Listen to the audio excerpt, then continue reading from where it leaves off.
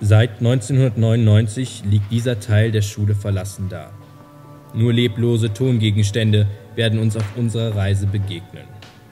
In den verlassenen Zimmern liegt noch immer der Geruch von Schweiß.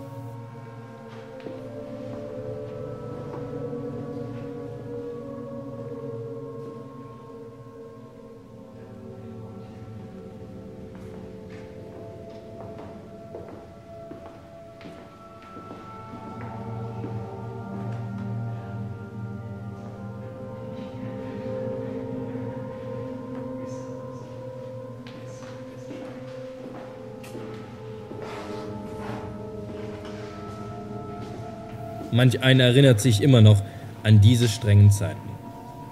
Generationen von Schülern lebten hier mit Erziehern und Priestern unter einem Dach. Priester, die zum Teil dafür bekannt waren, auf das benachbarte Schirohain zu schießen. Den meisten bleibt der Name Karl von der Fott unvergessen.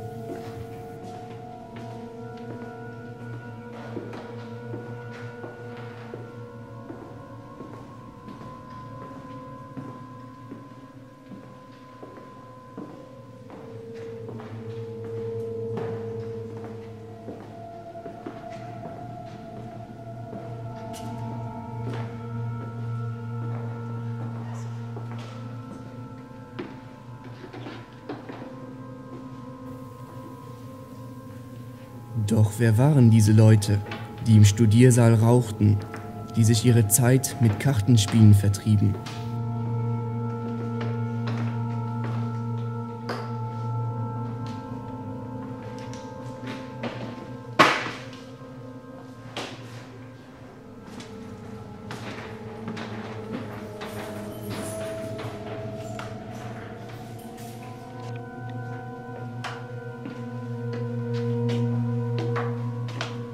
Internatszeit waren keine Herrenjahre.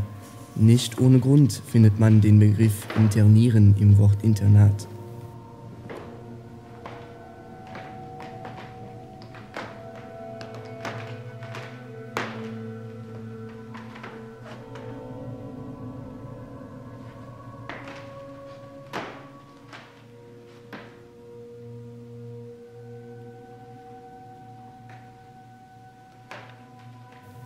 Schüler schwiegen, noch bis in die 70er Jahre wurde nur einmal in der Woche geduscht.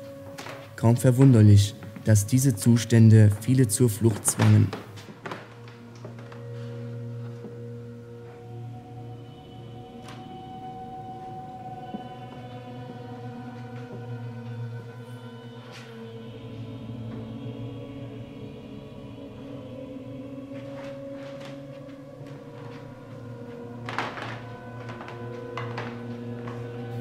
Manch einem war der Kaffee nach der Schule wohl nicht mehr stark genug. Und so finden wir zahllose Zeugnisse von Ausflügen in die Wirtschaften der Stadt St. Vith.